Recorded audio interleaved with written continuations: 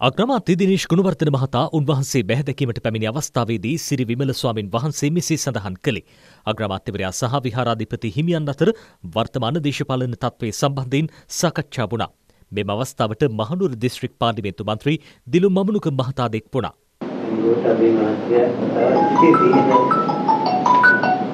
තාම විදේශ කවදාවත් ඔහොම හැසිරුන්නේ නැහැ නේ මම මාඥා නෑ මේ තියෙන රටේ වටිනා දේපොළනේ මේ ඔක්කොම විනාශ විනාශ සාවියෙන් දුන්නු තීන්දුව පවර තාපස්තුමා ඒවට ඉඩ දීලා කටයුතු කරන්නේ ඒ වෙලාවේ කිසිම කෙනෙක්ගේ ජීවිතයකට හානියක් අනිත් ඒ දොරන තිබුණා.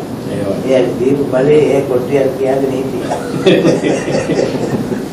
මේ අතර ගැටබේ රාජු පවනාරාමාධිපති කැප්පිටියාකුඩ සිරි විමල ස්වාමින් වහන්සේ ජනාධිපති රනිල් වික්‍රමසිංහ මහතා වෙත විශේෂ ලිපියක් යොමු කර තිබෙනවා. එමකින් උන්වහන්සේ ඉල්ලා තිබෙන්නේ ගෝඨාභය රාජපක්ෂ මහතා බෙරට තුළ පුරවැසියන්ට බියෙන් සැකින් තොරව ජීවත්වීමට දායකත්වයේ දුන් රණවිරුවෙක් ලෙසද කොරෝනා වැනි අර්බුද හමුවේ වුවද ජනතාවට සහන සලසමින් කටයුතු කළ රාජ්‍ය නායකයෙකු බවයි.